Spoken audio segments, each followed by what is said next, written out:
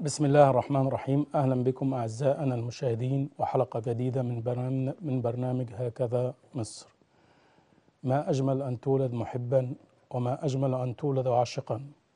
ويا ترى هل من تعشق؟ نعشق الوطن مصر. فهو أجمل من يعشق وأجمل من يحب فإنها مصر وهكذا مصر. أعزائي المشاهدين طبتم جميعا وطاب ممشاكم. نلتقي اليوم مع خبيرا وعالما واستاذا ودكتورا ومختصا في الطب الرياضي. معكم الآن ضيفنا العزيز الدكتور جمال الدين ضياء استشاري العلاج الطبيعي والطب الرياضي مدير مستشفى الطب الرياضي السابق. أهلا وسهلا دكتور. أهلا كابتن محمد متشكرين قوي على المقدمة آه. الجميلة ديت يعني بتاعت مصر الأول. بالتوفيق إن شاء الله. فهكذا مصر يا دكتور. طبعا. آه، مصر هي الأم والأب والحاضر والمستقبل. آه، دكتور جمال آه، نتحدث اليوم عن الطب الرياضي ومنظومة العلاج الطبيعي والتأهيل الطبي كأحد التخصصات الطبية الهامة في منظومة الطب الرياضي. في البداية حابب أتساءل عن الطب الرياضي كأحد التخصصات الطبية والمحاور الرئيسية في هذا المجال. تمام. آه، طبعا آه، هو موضوع كبير قوي هنحاول آه، نختزله في الدقائق اللي إحنا بنتكلم فيها ديت. ال- الطب الرياضي يعني هو أحد التخصصات الطبية المهمة اللي هي بتختص بفرع من فروع الطب ولكن بتهتم بالرياضي. يعني هو الرياضي محتاج كل التخصصات الطبية ولكن بشكل مختلف. هيشتغل فيه كل التخصصات ال- ال- الكاملة زي ال- العظام والعلاج الطبيعي آه، ممكن يكون فيه يدخل بشكل ما والفقرات و... آه ما هو ده العظام آه، سواء تمام. آه أمراض عظام أو جراحة عظام هيخش في وقت من الأوقات ممكن الأسنان آه، بمشاكلها ممكن يخش أمراض النساء بمشاكلها وهكذا بيحتاج كل آه، أمراض التخصصات النساء برضه ممكن تخش في لازم الطب لازم في مرأة في رياضة مرأة كبيرة. م- م- هي بقت رياضية، نص. آه بقت نص الرياضة مم. دلوقتي. آه، فلازم تبقى موجود كل التخصصات الطبية ديت بس بشكل مختلف لأن الرياضي لو إحنا بصينا هنلاقي إن إن الناس كلها بتعالج آه، بشكل طبيعي. الرياضي يعني ال- ال- المصاب اللي حد بيتصاب في أي حاجة بيرجع لوضعه الطبيعي بس. إنما الرياضي لازم يرجع آه، زي ما كان بالمستوى العالي بتاعه بعد العلاج وبعد ال- التأهيل عشان يرجع لنفس مستواه اللي كان فيه وإلا مش هيبقى شغل مع الرياضيين. آه، عندنا طبعا الطب الرياضي في مصر هو قديم آه، كقيمة الطب الرياضي في العالم اللي بدأ من الخمسينات ومن أو الستينات. كالطب عامة كوجه الخصوص كان أول من اخترع الطب الفراعنة. دي دليل إن بداية التحنيط كانت من الفراعنة والعالم كله بيدور إزاي هم بدأوا يحنطوا فدي صحيح. بداية الطب أصلا الطب ده من الفراعنة ودكاتره السنان من الفراعنة فكانوا بيدوروا وعندنا آه. في حاجات في في الحاجات ال- ال- الفراعنة في أحد المؤتمرات آه. كانت جت. آه. هم برضو كان عندهم حاجة برضو زي علاج ال- الرياضيين والناس بعد الوقوع من ال من ال وهو سايق وهو على حصان أو غيره. فإحنا دايما هتلاقينا سباقين في كل حاجة. إنما إحنا في الآخر بدأنا الطب الرياضي من زمان ودخل في مصر مع بداية الستينات وكان في وحدة للطب الرياضي في الجزيرة. صغيرة وبعدين انتشر وبقى في أماكن ضخمة لل- لل- للطب الرياضي في مصر بدأ آه، ينتشر. آه، لو انت سألتني يعني إن هل إحنا حاليا دلوقتي نعتبر, نعتبر يعني ماشيين مع العالم في الطب ما أنا الرياضي؟ هقول لحضرتك ما تقييم الطب الرياضي في مصر بالنسبة للمستويات العالمية؟ يعني المستويات العالمية في الطب الرياضي آه، في تقدم دوما. في تقدم في طبعا الطب الرياضي طبعا دوما كل يوم. هل إحنا هل إحنا نناهض المستويات العالمية في الطب الرياضي أو ماشيين معاهم على نفس ال- الهوى أو نفس المستوى في الطب الرياضي؟ الحقيقة إن إحنا بعيد طبعا يعني.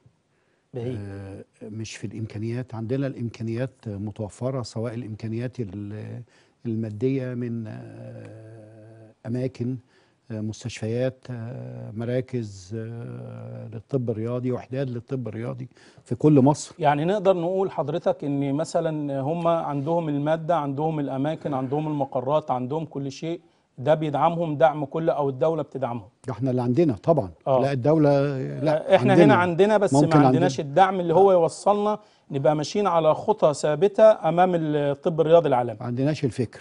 ما عندناش الفكر. بالظبط. يعني ما. فيش بلان مثلا للخطه لل... لل...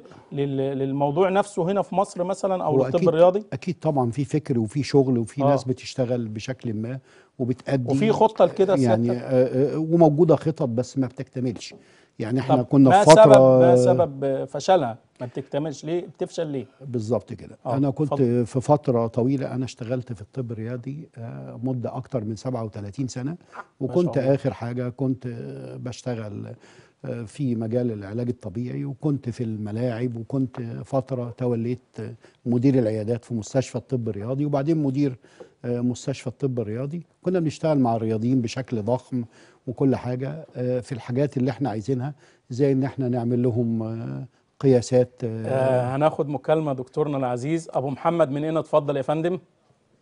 السلام عليكم. عليكم السلام. عليكم السلام. أنا عندي غضروف في وفي منتصف الظهر كده الخمسه ورابع يعني قال لي دكتور الرابعة والخامسه وكده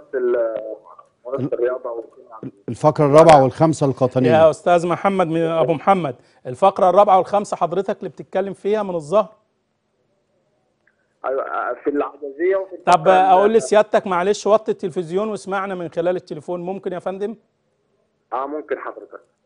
ما أنا موطي كويس. اتفضل. أنت قلت الرابعة والخامسة والخامسة والأولى العجزية. غضروف في عندي انزلاق غضروفي في آخر الفقرات العجزية يعني. بالظبط في القطنية والعجزية. وفي عندي ديسك في ال- في الر- في الرقبة. في الرقبة تمام. أنت بتشتغل إيه يا أبو محمد؟ شغلتك مم. شغلتك إيه؟ هو مش سامعني ممكن ماشي شكرا أبو محمد. من هنا متشكرين لاتصالك. طيب. آه، معانا دكتور كريم الغربية؟ اتفضل أستاذ كريم. السلام عليكم. عليكم السلام يا فندم. أهلا وسهلا. نورت هكذا ازي مصر حضرتك يا دكتور؟ أهلا وسهلا. اتفضل. أهلا وسهلا. أنا بقول لك امبارح يا دكتور كنت بلعب كورة امبارح مع أصحابي. آه أيوه يا دكتور. معاك يا. فندم، اتفضل. معاك. آه آه فقمت جاي واخد خبطة في ركبتي امبارح. لا تمام. آه فهي يعني بقول لك يا بصراحة والله العظيم ما قادر منها خالص. أنا مش عارف أعمل إيه لحد دلوقتي. تمام. هرد عليك. هل في ورم؟ الرد من خلال هل في ورم. ولا حاجة؟ ألو؟ إيه؟ في ورم يا كريم؟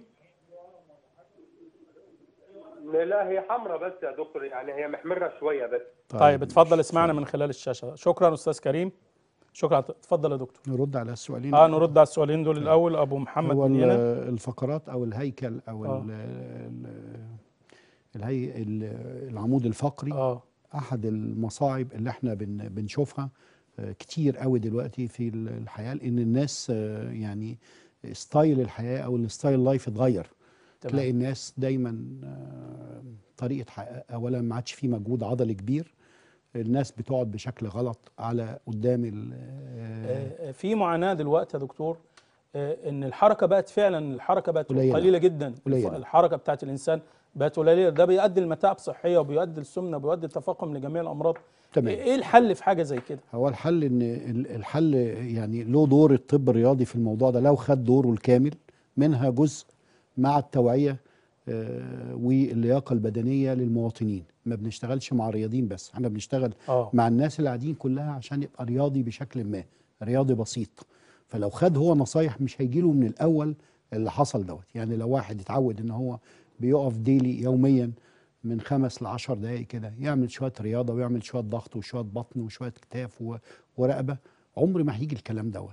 يعني هي الرياضة كان كما يعني كما كان يقال لنا وإحنا في المدارس العقل السليم في الجسم السليم. ده تمام. والجسم السليم في آه، لممارسته للرياضة أو اتباع نظم رياضية معينة. لازم. آه. لازم لازم يخش هو ال ال ال ال الأخ اللي سأل الأولاني سأل إن هو وصل آه. إن في ضغط على ال- ال- الغضروف الغضروف ضاغط على العصب في الفقرة ما بين الرابعة الخ- والخامسه والخامسه والأولى العجزيه يعني في المنطقة بتاعت السياتيك أو ال- اللي هو عرق النسا آه بيقولوا عليه عرق النسا آه. بال بال آه. بالعامية كده هو السياتيك نيرف ده بيسمع ويضغط ويسمع في الرجلين كمان أحيانا ألم آه، طبعا ده حاجة ما تتجاوبش على يعني ما ينفعش يتجاوب مباشرة على الهواء لأن في ده أكيد عمل رنين وأكيد وصل لحاجات طالما في ضغط على العصب وعرف إن في الرابعة الخامسه والخامسة والأولى الحل السليم إن هو هيتشاف وتشخص كويس جيد. إذا كان في الغالب معظم الحالات بتبعد عن الجراحة.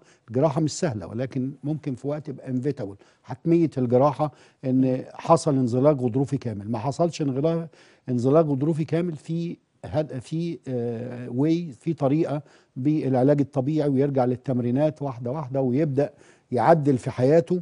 بتتحسن معظم الحالات أكتر من 90% من الحالات ديت بتبقى كويسة. ولو كمل في حياته برياضة بشكل بسيط بتبقى آه، بنطلع من من الموضوع ده لو رجع تاني للحياة العادية ال- اللي فيها اللي ما فيهاش آه، حاجة صحيه أو كويس أحمال تقيلة هو أو قاعد وخلاص. لا. الاحمال كويسة إن واحد آه. يشتغل ويشيل ده بالعكس اللي بيشيل ده أفضل من اللي قاعد على مكتب على طول آه. وحاني ظهره على على الكمبيوتر طب هو في حاجة من داخل الكلام يا دكتور آه، الناس اللي قاعدين على مكاتب أو قاعدين أمام الكمبيوتر يعني قاعدين قدام الكمبيوتر لفترات طويلة الطب الرياضي ينصحهم بإيه؟ هو لازم لازم ال- الراجل ده اللي بيشتغل في في يومه سبع ساعات تمن 10 ساعات زي ما يشتغل هيشتغل ما حدش هتقول له سيب شغلتك إنما الفكرة إن هو لازم يغير ال style life بتاعه يعني يتعود إن هو يقعد بشكل صح ما يقعدش في المكان بتاعه أكتر من ساعة لازم يكون اتحرك من مكانه عشان يعدل ركود الدورة الدموية والانحناء اللي هو اللي فيه دوت يعدل نفسه شوية فيقوم يتمشى يغير وضعه وهيكون قبل كده هو واخد نصايح بأن هو بيعمل رياضة يومية. لو واحد فكر كده إن هو يعمل 10 دقايق كل يوم بما فيهم شوية تمارين ضغط كده اللي ما يقدرش ينزل على الأرض ممكن يحط إيديه على المكتب قدامه أو على سرير ويعمل كام شوية ضغط. كام ضغط؟ المهم آه شوية تمارين خفيفة آه. تمنعه بأن الظهر يعني عايز أقول لك إن انحناء الظهر كشكل ديفورميتي أو تشوه بقى نسبته كبيرة جدا بين الشباب آه، والبنات في سن صغير وخصوصا ناخد البنات. اتصال تاني يا دكتور. اتفضل. عمر من آه، الجيزه اتفضل يا أستاذ عمر. السلام عليكم. عليكم السلام يا فندم. اتفضل يا أستاذ عمر.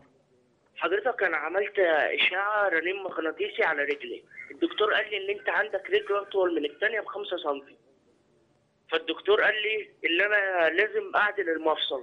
المفصلين لازم أعدلهم. حضرتك تنصحني إن أنا أعملها ولا لأ؟ اعمل عمليه ولا لأ؟ آه، ردك يا دكتور على في السؤال. حاجة في ظهرك وصل لوجع في ظهرك أو حاجة دلوقتي؟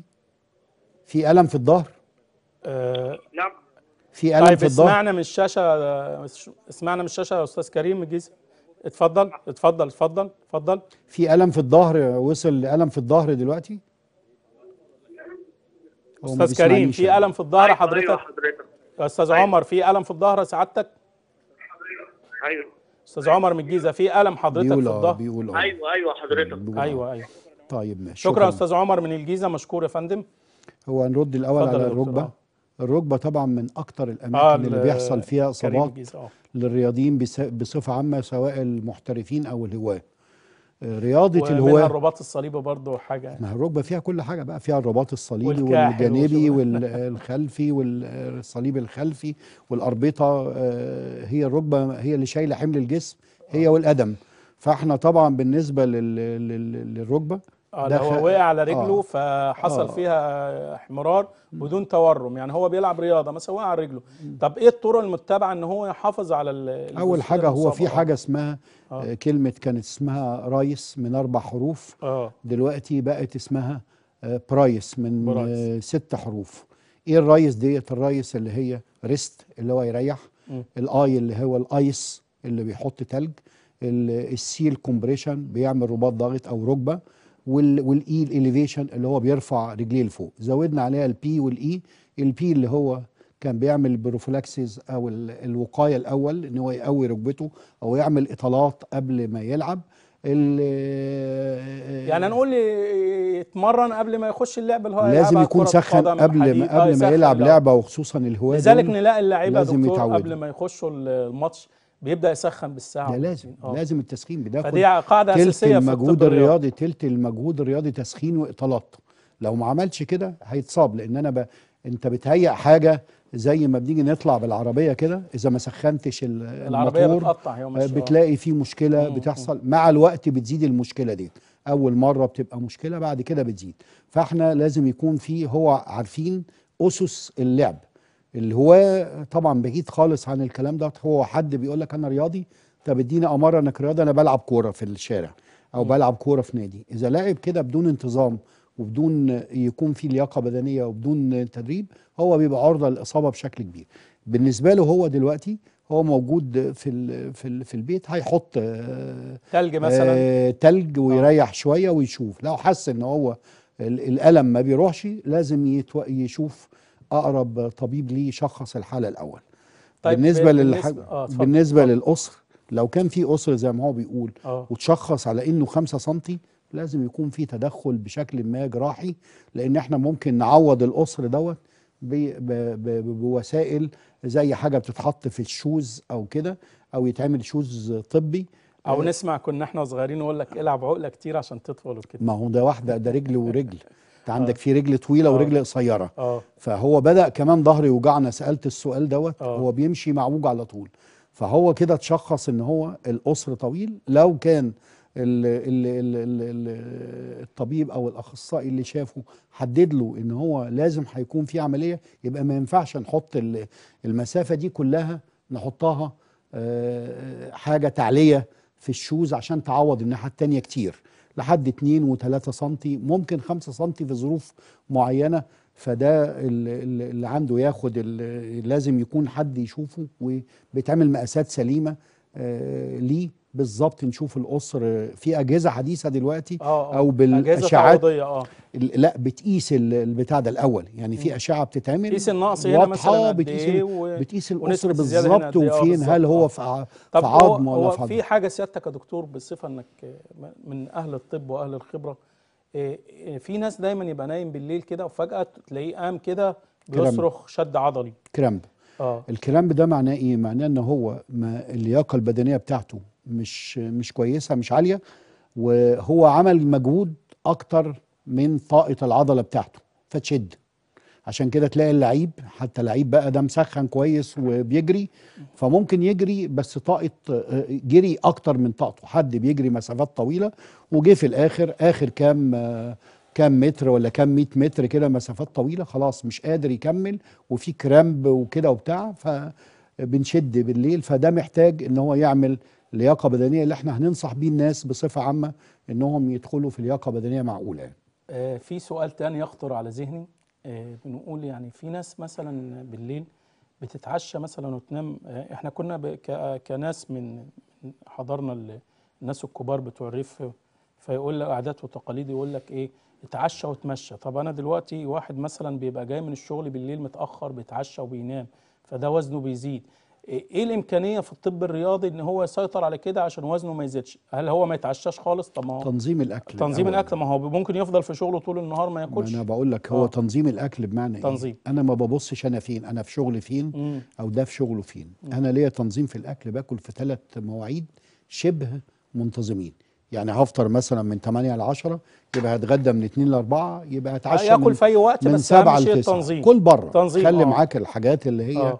اللي انت ممكن ممكن تلاقي انت نفسك في مكانك ممكن تحط حاجة جنبك في في ثلاجه وناكل الأكل بقى. نرجع بقى للأكل الطبيعي بتاع زمان آه، بعيد عن ال junk food والحاجات الجاهزة والحاجات اللي هي فيها مواد حافظة أو كده. نبعد عن الكلام ده. نرجع للأكل الخضار.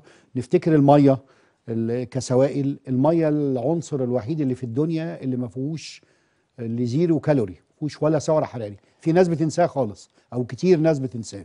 طيب آه، آه، آه، ما رؤية حضرتك للطب الرياضي في مصر؟ وفي ظل ما يعانيه من صعوبات وكيفية الارتقاء بالطب الرياضي و- والنظرة المستقبلية لدوره لدور الطب الرياضي؟ لأني آه، يعني أنا شايف حضرتك كنز من كنوز مصر في المعلومات الطبية. آه، إزاي ندعم حاجة زي كده في الطب الرياضي أو ندعم الطب الرياضي في ظل ما ما نعانيه من صعوبات ولكن إحنا مش بنصدر صعوبات. في آه صعوبات إحنا بنعانيها لخروج الطب الرياضي زي مثلا الطب الرياضي العالمي الكندي الطب الرياضي العالمي ال- الروسي. البلجيكي اليوناني الأسترالي. يعني الدول الحوض اللي هم بنقول عليهم الدول الأوروبية. إحنا نوصل لكده إزاي؟ عايزين وقفة. الرؤية اللي إحنا نوصل تخلينا نوصل لحاجة زي وقفة كده. جادة. عشان نستفيد من كل الإمكانيات اللي عندنا. مش ما عندناش إمكانيات لا إحنا عايزين وقفة جادة وعلمية ومدروسة علشان نقدر نعمل الكلام ده يعني لو إحنا دلوقتي فكرنا يمكن أنت آه، شفت المؤتمر ال 23 بتاع آه،. الاتحاد المصري للطب الرياضي؟ آدي اتحاد مصري. آه صحيح بصفتك آه، مقرر الاتحاد المصري للطب الرياضي ما هي توصيات مؤتمر 23 للاتحاد المصري اللي كان منعقد يوم الجمعة 27 9 تحت عنوان الطب الرياضي وكرة القدم؟ تمام. هو الطب الرياضي الاتحاد طبعا المصري كنت حضرتك المقرر بتاع الاتحاد. مقرر الاتحاد مقرر والمؤتمر الاتحاد. آه. إحنا عاملين دلوقتي ده المؤتمر التلات 23 على مدى أكتر من أربع سنين. عملنا 23 مؤتمر جاد. عندنا أهداف آه، كبيرة قوي. اللي أنا بتكلم فيها اللي هي بتاعه اللي إحنا عايزين نطبقها في مصر كلها للاتحاد المصري له أهداف آه، كويسة بتنظيم. كل الأمور عامل عاملين دراسات مع مجموعة من اللي هم في الاتحاد اللي هم رواد الطب الرياضي والعظام والعلاج الطبيعي والتربية الرياضية في مصر. هم أعضاء في الاتحاد دول. آه، حطينا قعدنا درسنا مع مع بعضنا وحطينا تصور للحلول كلها علشان نقدر نستفيد من إمكانياتنا ونوصل للعالمية. هنوصل للعالمية إزاي وأنت عندك يعني عندك الاتحاد المصري للطب الرياضي ده في الاتحاد العربي آه. وفي الاتحاد الأفريقي وفي الاتحاد الدولي. إحنا ما عندناش اتحاد مصري في اتحاد سعودي واتحاد بحريني واتحاد قطري واتحاد وإحنا اللي إحنا اللي ساهمنا آه، في آه، إنشاء الاتحادات دي آه، من الأول المصريين. فإحنا إحنا ليه ما فيش؟ ده سؤال بنطرحه بنحط عليه كويتشن مارك قدام المسؤولين عن اشهار الاتحاد دول في ال- الجهة الإدارية المختصة اللي هي وزارة الرياضة علشان يساعد معاك علشان نقدر نحط إيدينا في إيد بعض مع الطب الرياضي الرسمي في وزارة ال ال ال ال الشباب والرياضة وإحنا أصدقاء وإحنا على آه، كلنا من من بوتقة ومن مكان واحد إن إحنا نقدر آه، آه، ننهض بالطب الرياضي. بالإمكانيات دي تستغل. لازم يكون في آه، زي مؤتمر أو زي ورش عمل كل واحد يحط فيه تصوراته ورؤيته علشان نبدأ نستغل الإمكانيات اللي عندنا. لازم ناخد آه. من من آخر اللي وصل ليه النا- الآخرين بره. يعني إحنا نبدأ من نشكر حضرتك آه، آه، كنز من كنوز مصر من المعلومات الطبية الدكتور جمال ضياء الدين شاهين استشاري العلاج الطبي والطب الرياضي ومدير مستشفى الطب الرياضي الأسبق شكرا يا فندم نورتنا وأسعدتنا باللقاء الشيق المبارك ونتمنى أن إحنا نكون دوما في استمرار آه، ولقاءات آه، قادمة إن شاء الله. شكرا دكتور جمال. أعزائي المشاهدين ربنا يخليك. نشكركم بهذه الفقرة وننتقل لفقرة أخرى وللتواصل. رقم الواتساب موجود على الشاشة. شكرا أعزائنا المشاهدين.